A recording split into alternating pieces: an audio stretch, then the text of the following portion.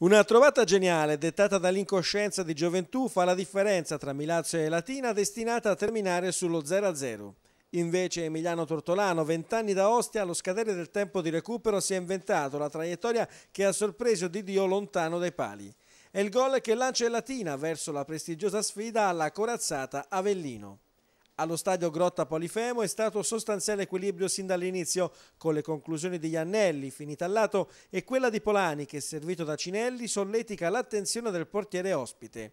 Al decimo la punizione di Saurino chiama all'uscita Martinuzzi al suo esordio tre pali, mentre al tredicesimo viene ribattuto il diagonale di Tortolano scaturito da un pallone messo in mezzo da Cafiero su rimessa laterale. Ma la prima vera grossa occasione dei nerazzurri è al ventitresimo. Cross di Cinelli, correzione di Berardi per merito che da favorevole posizione calcia sul fondo. Poi su punizione degli Annelli Martinuzzi al ventinovesimo non vuole correre rischi ed alza in angolo. Il primo tempo si conclude con lo slalom di Tortolano che entra in aria dalla sinistra, si accentra, cerca la porta ma calcia alto. Dall'altra parte Iannelli è ancora più impreciso. Ripresa aperta dal sinistro di Tortolano fuori misura. Nella parte centrale sale in cattedra l'estremo difensore argentino del Latina che in ordine di tempo si oppone al destro in corsa di Proietti e poco dopo si inarca all'indietro sfiorando quel tanto che basta il tiro cross dello stesso numero 17.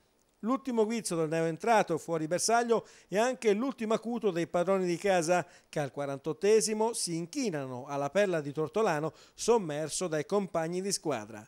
Il Latina comincia a credere in qualcosa di importante. Tre punti chiaramente in questo partire con il piede giusto in campionato, da molta carica, da molta adrenalina però dobbiamo eh, rimanere obiettivi e vedere che era una partita che eravamo riusciti a strappare un buon punto su un campo molto difficile con una squadra che faceva un calcio molto agonistico con palla lunga, noi siamo stati bravi a calarci in quella realtà, ad interpretarla bene.